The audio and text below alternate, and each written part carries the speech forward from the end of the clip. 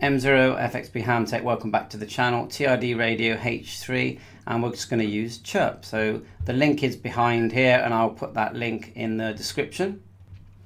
Then we just on our Windows square at the bottom here, click the Windows square or right click it, device manager and you'll see the port selection there, double click ports and look 51, COM51. Then we just go to radio, download from radio. Just going to choose COM51 at the top where it says port. Then the vendor is the TID radio. Then H3 and click OK. You get some instructions and then click OK. And it's loading and I am using the USB-C, not not the twin pin cable. And look, it's worked fine. And there it is. So very pleased about that. And we can add new channels. Just put one in here, one four five dot six hundred. We can name it GB3WR. We can choose tone and the tone, you know, CTCSS. We've got our shift here if we need it which we do. We need 0.600 for GB3WR. Oh, you can actually gives you the option to choose a split there as well. The plus or the minus, so we want minus for that and we can select the power.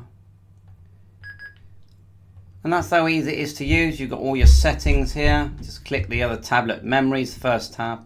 Second tab is settings. The nice thing is you can copy and paste, can't you? And let's squelch level, light control, you can choose continuous, A and B, scan mode. You've got programmable keys that you can change what they do. I've even put messages in when it powers on. Look, Hamtech, welcome. DTMF works out the box on this thing. And you can add presets. Broadcast, put in one of your broadcast frequencies. I've not done this one yet. So 94.300 something like that or did that not go in? Ah that's channels work mode. I will play with that. Um, restore tabs radio upload download enable automatic edits. You can go straight to repeater book. That's very handy look. Choose your area. Let's go United Kingdom.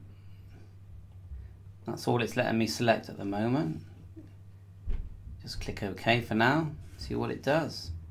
Maybe you need to log in. Oh, that did do something. Oh, look at that. It's actually gone to United Kingdom and got all these things. So I'm guessing that you can probably copy and paste that. So you just go like so. Let me think now. If you go control, is it? Control? No. No, I'm going to say no to that. Um, control. I'm holding control, then going up. No, cancel. No.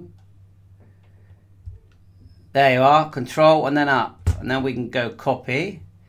Go back to my channels, my memories. Click the top one, right click, paste. Yay! Click OK. Alright, it's giving you some that aren't suitable, but that's, that's fine. You get the idea. You've got that, you know, you've got repeater book, DMR, MARC radio reference and present, oh I can't say that one.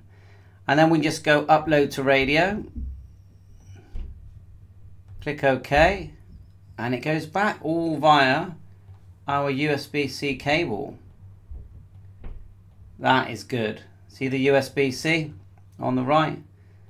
I'm impressed with that. And of course you copy and paste to other radios. Uh, so thanks for watching my YouTube channel. All the links will be in the description. Bye for now need to charge it up, don't I? I'm pretty sure I do.